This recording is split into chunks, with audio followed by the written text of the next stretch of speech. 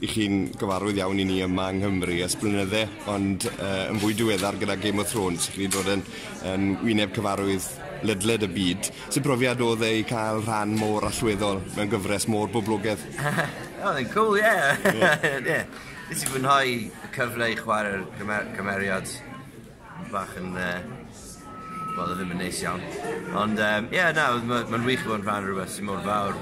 Um, a mae'n wych bod yn rhan rhywbeth sy'n sy dda, sy dda, mae pawb yn credu, mae pawb yn gwybod bod nhw'n gwneud gwaith da, mae'n ma, ma neis ar y set pan mae'n digwydd. Um, yeah, mae'n neis. O'ch chi'n gweld um, tybygrwydd rhwng Game of Thrones a falle chwedle Cymraeg, achos mae lot wedi dwi'n cymariaeth gweud bod George R. R. Martin wedi dwi'n ysbrydolaeth y chwedle Cymraeg. Yeah. O'ch chi eisiau gweld ni o...? Ie, yeah, dwi'n meddwl, ie, yeah, mae lot o... Ie, yeah, dwi'n meddwl y mabinogi peth fel yna, dwi'n meddwl mae'n hen bryd i rhywun wneud, wneud ffilm Gymraeg yn Mafin Rogers yn ôl. Yeah. A, a bod uh, pethau, pethau fel Game of Thrones wedi wedi gwneud y genre fantasy yn fwy poblogaidd yn eich barn chi? Ie, yeah, siwr fod, ie. Yeah, mae wedi gwneud i lot o bobl falle bys ddim wedi bod cael gymaint o ddiddordeb yn hwnna i fod yn rhan o'n felly, ie.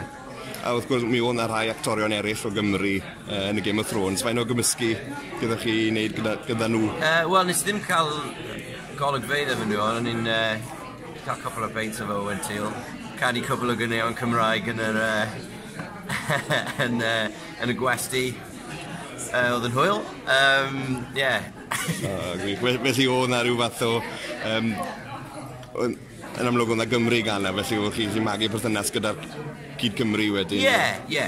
Na, oedd pawb yn gweithio ar y sioen neis iawn, oedd yna gymuned neis o bobl yna'n gweithio, felly oedd yn ond yn rhasau neis claf y Cymru.